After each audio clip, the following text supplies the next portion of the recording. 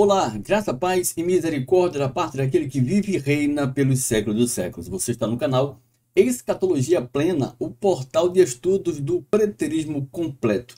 E nessa oportunidade vamos fazer aqui uma reação a um vídeo que eu vi nesses dias. Na verdade é um corte onde vem tratando a respeito de um debate que acontece entre o pastor Elias Soares versus o bispo José Hildo. Eles vêm tratando a respeito do tema a grande tribulação e a ira de Deus. Então eu vi esse corte e achei interessante porque vinha dizendo na thumb e-mail, há duas grandes tribulações. Então o pastor Elias ele faz uma abordagem dentro de uma observação feita pelo bispo José Hildo do que tange as questões da tribulação de Mateus 24, mencionando que tem tudo a ver com relação à queda de Jerusalém. Tudo aquilo que acontece sendo mencionado por Jesus com referência à grande tribulação tinha a ver com a questão judaica, da ira de Deus que se manifestou em 70 com a queda de Jerusalém.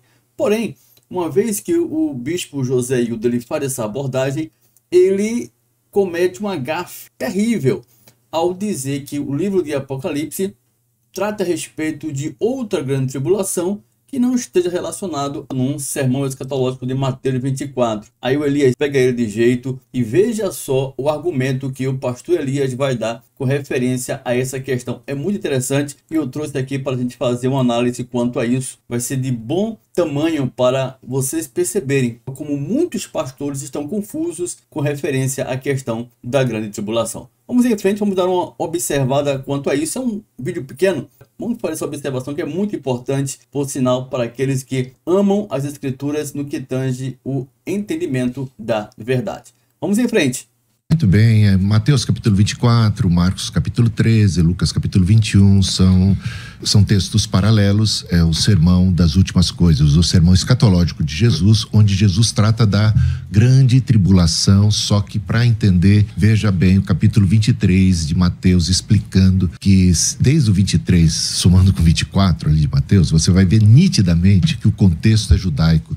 É a palavra de Jesus a respeito dos fariseus, dos religiosos hipócritas. Jesus fala sobre o juízo que cairia sobre aquela geração aquela geração. Então, tudo diz respeito a Jerusalém, tudo diz respeito a, ao ato de que aqueles judeus, aqueles religiosos, aquele grupo estaria eh, completando a medida dos seus pais que mataram os profetas, eles se sentem melhores do que os seus antepassados. Jesus diz que eles não são melhores, eles são até piores, eles vão, no caso, eles vão acabar matando o próprio Cristo, rejeitando o Cristo. Cristo chorou sobre Jerusalém. Jerusalém, Jerusalém, que matas os profetas e apedrejas tantos quantos te são enviados. Quantas vezes eu quis, como uma galinha quis, assim, ajunta os seus pintinhos, eu quis salvar vocês, vocês não quiseram. Eis que a vossa casa vos ficará deserta. E Jesus então anuncia, ali no final do capítulo 23, início do capítulo 24, a destruição de Jerusalém, a destruição do templo. Não vai ficar pedra sobre pedra. Todo o contexto dessa grande tribulação é, é, é de caráter judaico, é o juízo de Deus sobre Jerusalém mais uma vez.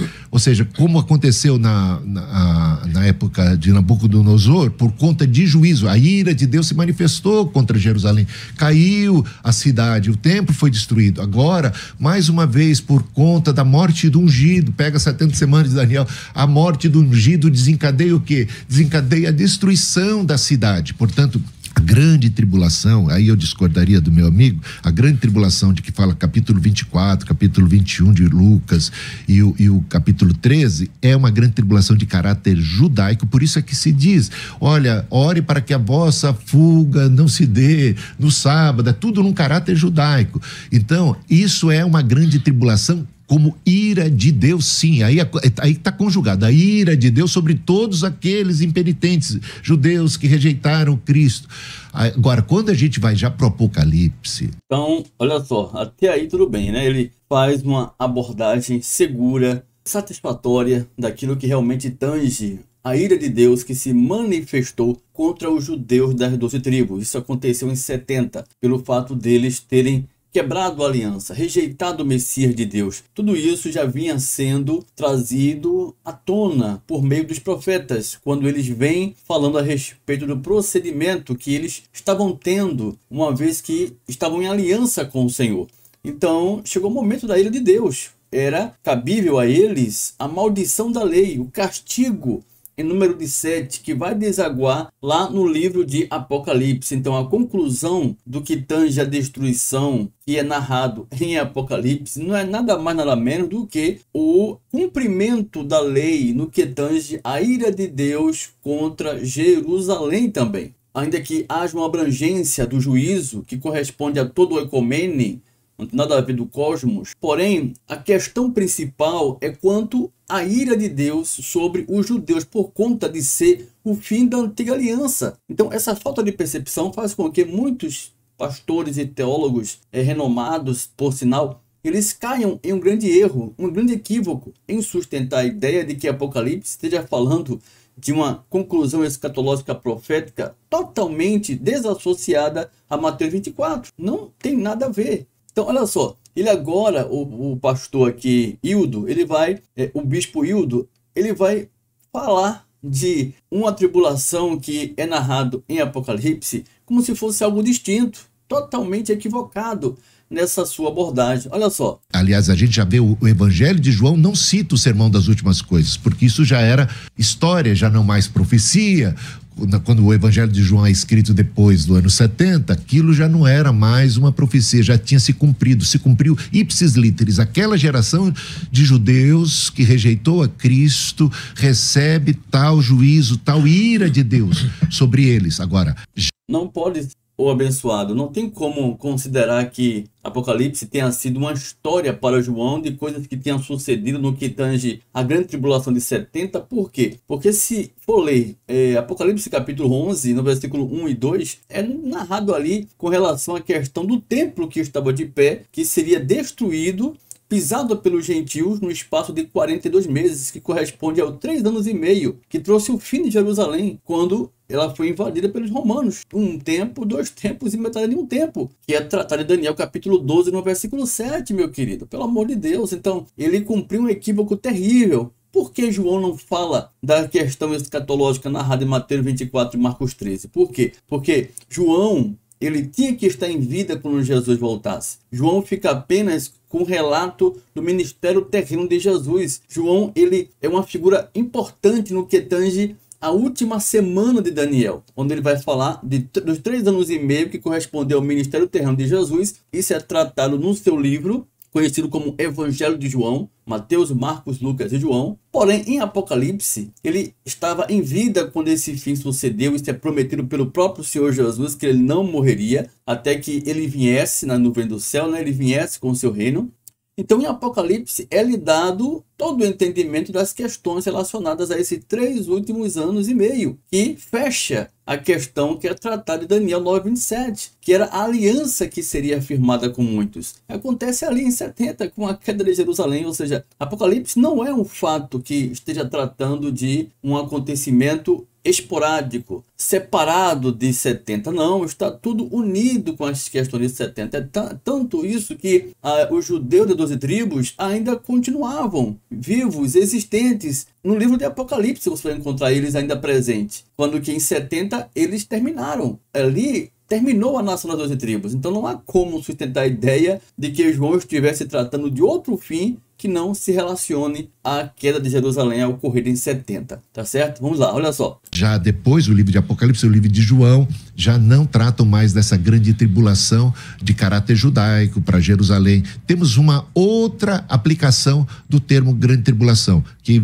que, são, que é a perseguição que a igreja vai sofrer há uma ira, sim, no capítulo 3 é, é, é, de Apocalipse, versículo 10, a gente tem ali a sobre a provação que vai vir, ali no caso, sobre toda a terra. São juízos que a gente vê quando o Senhor vai abrindo a, os selos, o livro, exatando os selos, são juízos que caem sobre toda a terra.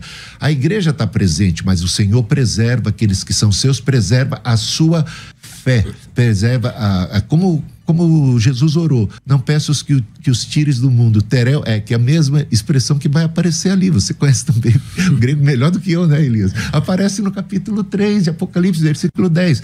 Sem necessariamente, não peço que os tires, não precisa um arrebatamento para o Senhor preservar aqueles que são seus, e no caso, preservar não é a questão física, a, a questão de preservar é a questão espiritual, é a sua perseverança, porque veja só nas, nas cartas anteriores, as pessoas não estão sendo, é, é, não há nenhuma promessa de que eles vão ser protegidos fisicamente, pelo contrário, eles estão sendo atribulados e eles vão sofrer, é, inclusive até a ponto da morte, okay. a custa da própria vida física. Ok, pastor. Muito bem, agora vai entrar a fala do pastor Elias, né? Então, olha só, o Hildo ele faz a sua colocação, desastrosa por sinal, ainda que uh, vamos dar um desconto para ele, porque ele faz uma boa abordagem inicial do que tange Mateus 24, que toda a estrutura escatológica é envolto a queda de Jerusalém, questão judaica, porém, quando chega em Apocalipse, ele atropela toda a sua narrativa no que tange Mateus 24, criando uma uh, suposição de que há uma grande tribulação, a ira de Deus sendo manifesta ali, porém, desassociado a Mateus 24. É quando Elias Soares vai entrar aqui e fazer a sua intervenção naquilo que foi falado até então pelo Bispo Hildo. Olha só. Elias Soares. Bom, eu, eu não sei. Para mim, é, ficou bem, bem claro aqui a posição do, do Bispo Hildo e ele concorda comigo que a grande tribulação de Mateus capítulo 24, versículo 21, Marcos capítulo 13, versículo 19 e Lucas 21, versículo 23 é a ira. Sim. Ele concordou Concordo e expressou plenamente. isso. Concorda plenamente. Agora, o que me deixa, assim, às vezes, é, é, é questionando a argumentação, né? É que parece-me que o senhor é, criou duas grandes tribulações. Uma, uma grande tribulação só para o judeu. Que é no ano 70. E uma grande tribulação. para a igreja depois. É, é, é para o, para os ímpios. que eu não criei. Para os ímpios. Está lá na Bíblia. Vamos chamar de escatológico. É escatológico. É uma escatológica tá lá, depois. Não é criação minha. Então, depois vai, a gente lá. vai trocar. Vamos lá. Conclui Elias. Então, agora o que, que acontece? A segunda observação que eu gostaria de fazer é a questão que o contexto é 100% judaico da grande tribulação. Concordo com o senhor em partes, é, é para os judeus, mas ele tem uma abrangência. Ele tem uma Olha só, o pastor Elias, ele concorda, certo? Ele faz uma concordância, ele deixa claro que concorda por, pela narrativa escatológica de Mateus 24, está relacionado à questão judaica. Então, em parte, ainda que haja abrangência, isso tem a ver também com a nossa posição no que tange a igreja. Ela não está restrita aos judeus, embora o sermão ele trata especificamente da, do, do, da nação judaica, porque é Jesus falando com os judeus, o evangelho ainda não tinha chegado aos gentios, porém o propósito do fim está relacionado à igreja, quando você vai se deparar com as cartas de Paulo. Mas eu vou falar isso mais na frente. Então, olha só, olha a posição de Elias agora com essa questão, embora ele tenha já reconhecido que há uma observância importante na questão judaica de Mateus 24. Uma abrangência. Eu até. Você até citou o Daniel, né? É justo. Eu até fiquei assim espantado, porque parece-me que ele é pós-tribulacionista ele, e ele destoa da visão pós-tribulacionista, porque na visão pós não é só para judeu, é para o mundo todo, mas para ele é só para judeu. Então, parece que houve aqui uma, uma, uma diferença. Agora, se essa grande tribulação é só para judeu, e parece-me que o senhor vai fazendo uma leitura a partir do versículo 15, quando virdes que a abominação da desolação de que profetizou o profeta Daniel está no lugar santo, quem lhe entenda. Se estiver na Judéia, fuja para os montes. Depois, ai das grávidas que se amamentaram naquele dia e daqueles que guardam o sábado. Então, o sábado não é, não é para a igreja, logo Sim. tem que ser para judeu. Só que aí depois ele diz o, o porquê, a motivação, a razão pela qual eles deveriam fugir. Porque haveria uma tribulação tão grande, ou tlipsis megali, que é a expressão grega, como nunca houve e nem jamais haverá. Nunca houve e nem haverá jamais. Então a gente criar uma segunda tribulação igual ou maior é, é, parece qual que, das duas é a maior, né? Você está me entendendo? Contraria o que Jesus disse. Só que tem outro problema. Apesar de eu não crer que depois da grande eh, tribulação ocorre o arrebatamento, eu creio que Jesus voltará glorioso, visível, depois da grande tribulação, não para arrebatar a igreja, mas depois da grande tribulação, com a igreja e os seus anjos, para estabelecer aqui, para fazer aqui juízo contra as nações. Só que se o senhor é, limitar isso apenas aos judeus e dizer que aquilo ali tem um caráter apenas judaico, que tudo aquilo se cumpriu no ano 70, nós teremos um problema. Porque nada daquilo que está no versículo 29, eu até gostaria de ler, hum. se cumpriu até agora. Nada do que está no versículo 29 ao 31. Olha só o que está escrito. E logo depois da aflição daqueles dias, ou seja, da grande tribulação, o sol escurecerá e a lua não dará sua luz, e as estrelas cairão do céu, e as potências do céu serão abaladas. E olha só o 30. Então aparecerá no céu. E agora, quando se diz aqui logo depois, a palavra grega é imediatamente. Na sequência. Na sequência, não tem. É, é, é, logo na sequência. Então aparecerá no céu o sinal do Filho do Homem, e todas as tribos da terra se lamentarão e verão o Filho do Homem vindo sobre as nuvens do céu com poder e grande glória. O que, que eu percebo? Apesar de o senhor ser um pós-tribulacionista, acho que é milenista também, aliancista, Sim. o senhor fez uma confissão preterista. Então, para mim, isso é o preterismo. O preterismo vai nessa mesma esteira que o senhor caminha, apresentando que Jesus já voltou, que nós não temos que eh, esperar okay. a volta de Jesus, aqui não tem nada mais para se cumprir. Muito bem, está aí a observação feita pelo pastor Elias, conhecido teólogo, que fala muito das questões escatológicas da Bíblia, porém muito confuso, por sinal, aqui, né? Porque ele, embora reconhecendo a estrutura de Mateus 24 sendo para os judeus, uma vez que ele reconhece, é necessário também ele aceitar que uh, a grande tribulação é passado, nada a ver com presente ou com futuro. Não tem como eu sustentar outra grande tribulação posterior de 70, porque o próprio Senhor Jesus falou que aquela seria uma grande tribulação, o qual nunca foi visto antes e jamais na história se ou se haveria algo, poderia acontecer algo igual. Isso aqui é fato. Ele não esclarece esse ponto. Então ele vai fazer uma divergência aí com o bispo Hildo no que tange o não cumprimento dessa grande tribulação. Aí ele vai descontextualizar Mateus capítulo 24, 21, colocando para um ocorrido ainda futuro pelo fato do que diz Mateus capítulo 24, no verso 29. Deixa eu puxar aqui a Bíblia para a gente fazer aqui essa leitura junto, na ocasião, né? Logo depois da tribulação daqueles dias, a grande tribulação que é tratada em Mateus capítulo 24 e 21, porque haverá então uma tribulação tão grande como nunca houve. Ele vai dizer aqui no verso 29 que é o ponto de divergência dele pelo fato dele desconcordar que essa grande tribulação já tenha acontecido, é, que esteja ligado à questão de 70, porque ele diz que isso aqui não aconteceu.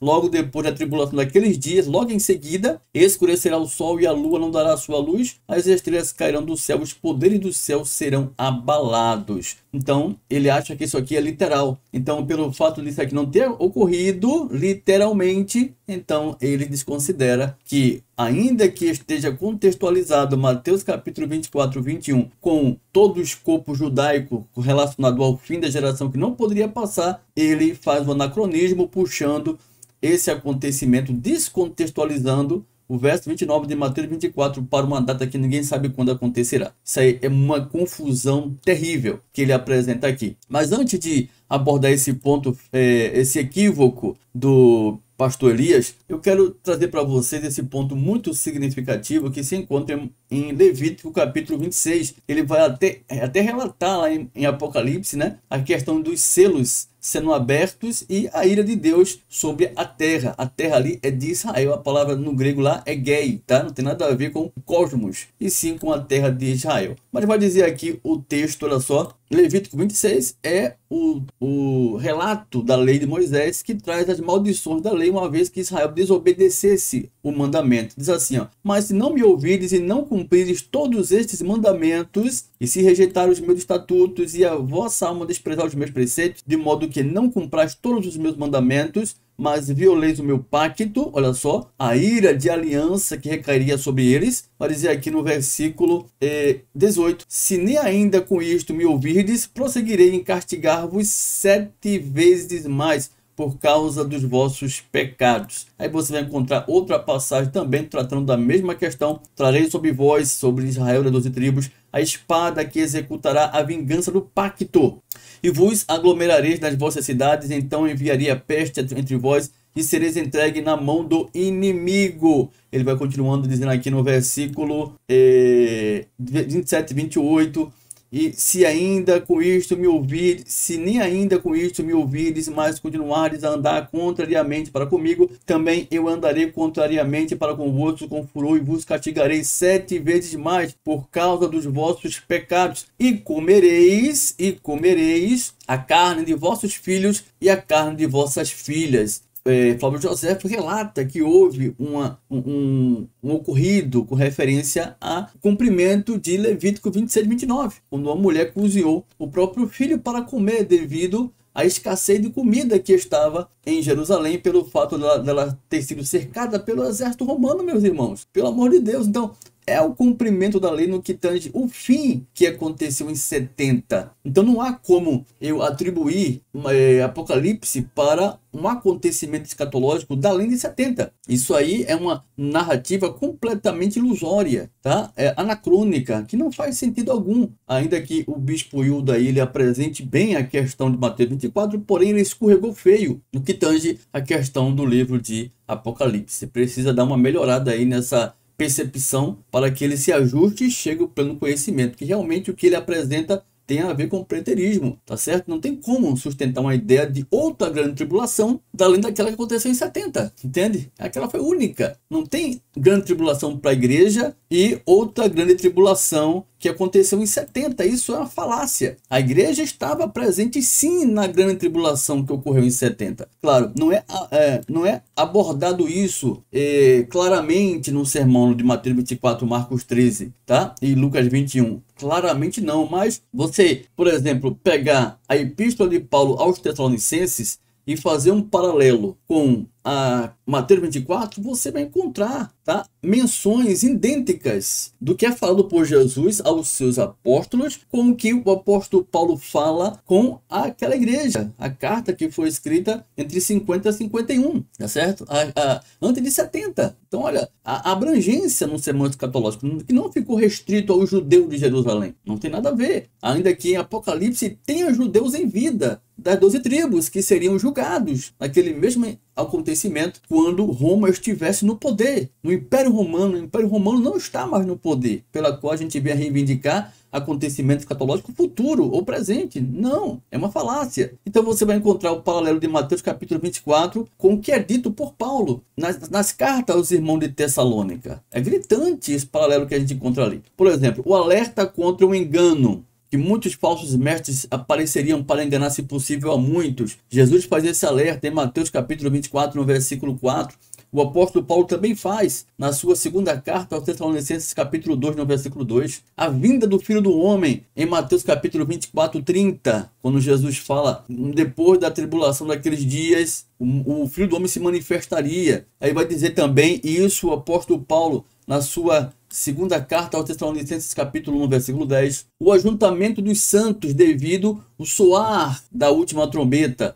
Você vai encontrar isso bem nítido em Mateus 24, 31, que é paralelo de 1 Tessalonicenses capítulo 4, no versículo 16. Entende, meu irmão? A vinda como ladrão, é, que é tratado por Jesus em Mateus capítulo 24, 43, também é tratado pelo apóstolo Paulo em 1 Tessalonicenses capítulo 5, no versículo 2. Ora, o que Paulo está falando que não era com referência à questão da grande tribulação, que foi única, o qual jamais seria visto na história da humanidade e que se manifestou em 70, meu irmão, minha irmã. Pelo amor de Deus. Então, o parcial preterismo, eles erram feio nessa questão, tentando desassociar, achando que Jesus veio em 70, foi a vinda nas nuvens, porém, existirá outra vinda, porém corpórea, audível, as pessoas irão ver Jesus realmente presencialmente, fisicamente, não tem como isso acontecer. Jesus ele estava aqui, era o próprio Deus, ele se esvaziou de si mesmo. Quer dizer que o Senhor vai se esvaziar outra vez, isso é uma falácia. Nós temos estudos aqui que mostram que isso é completamente incompatível com a verdade de Deus. A questão que o pastor Elias fala, que ele desconcorda do bispo Hildo, porque ele, ele diz que lendo isso aqui, vamos lá para Mateus capítulo 24, ele lendo esse texto aqui de Mateus capítulo 24,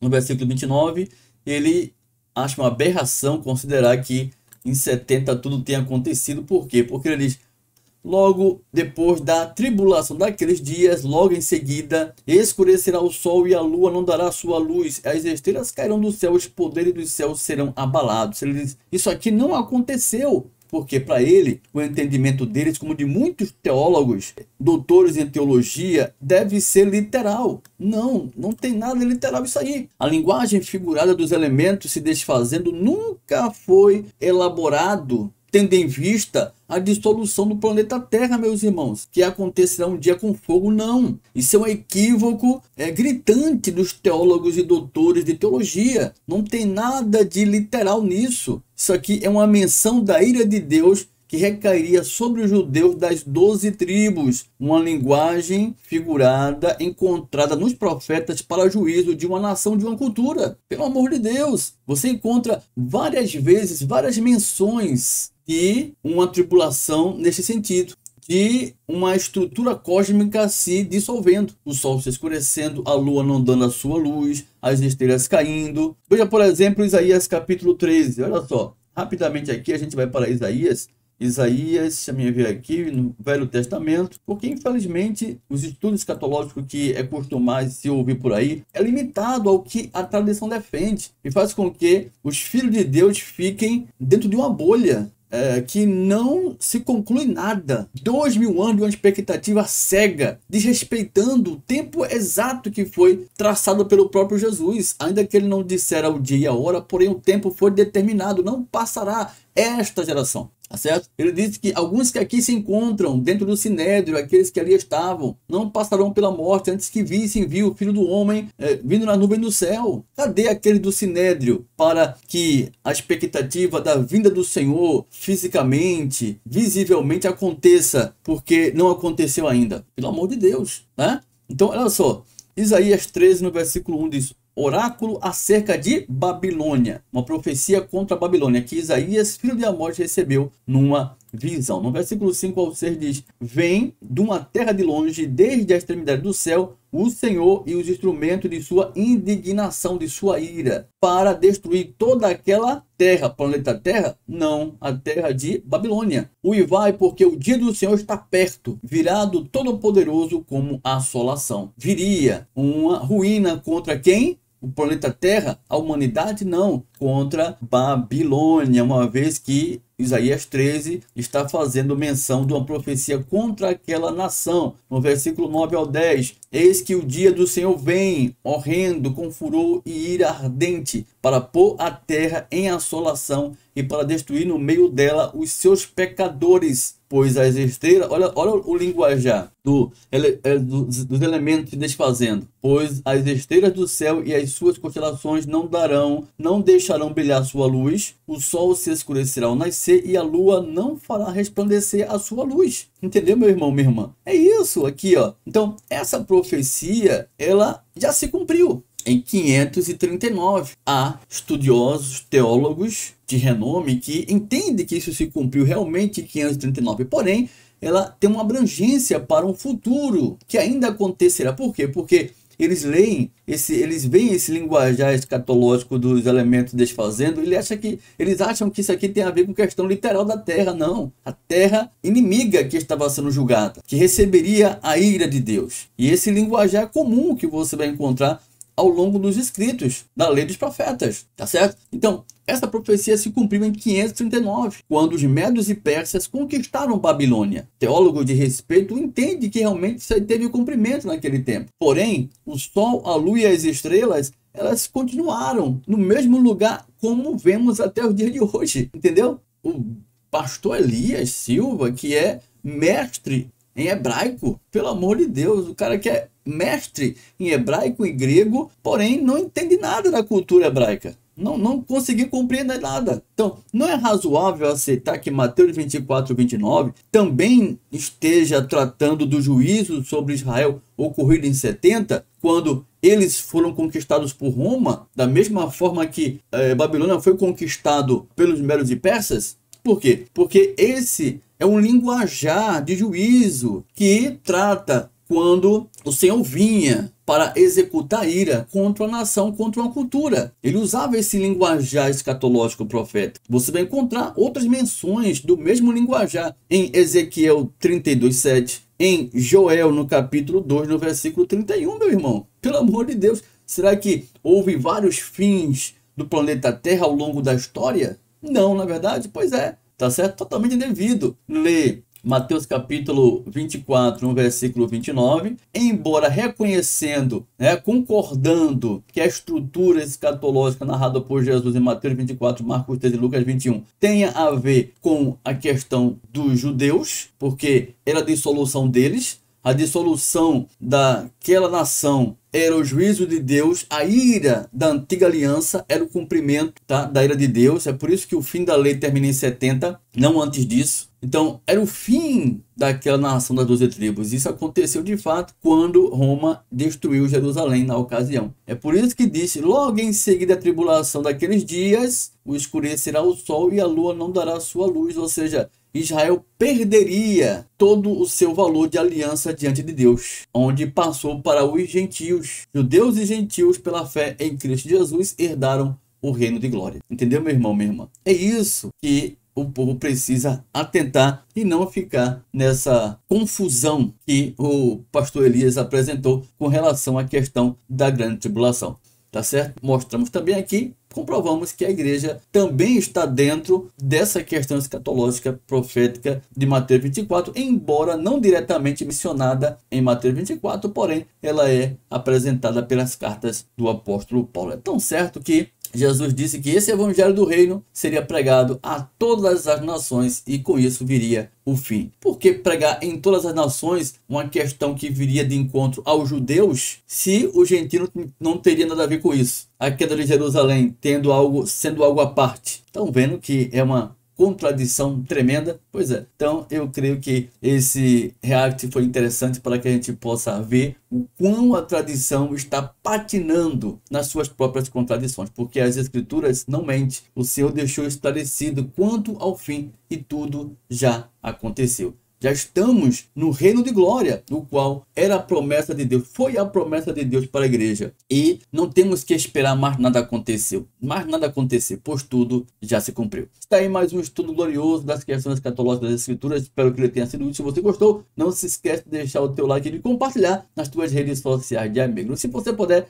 faça aquilo que você faz muito bem sempre, que é registrar aqui abaixo um comentário do que você achou desse estudo que apresentamos aqui, baseado em uma reação que fizemos de um debate acontecido pelo Bispo Hildo e o pastor Elias Silva. Com certeza eu responderei a todos, tá bom? Um grande abraço e até a próxima oportunidade, querendo Deus, em nome de Jesus. Graça e paz! Graças, porém, a Deus que, em Cristo, sempre nos conduz em triunfo e, por meio de nós, manifesta em todo lugar a fragrância do seu conhecimento. Porque nós somos para com Deus o bom perfume de Cristo, tanto nos que são salvos como nos que se perdem. Porque nós não estamos, como tantos outros, mercadejando a palavra de Deus. Antes, em Cristo é que falamos na presença de Deus, com sinceridade e da parte do próprio Deus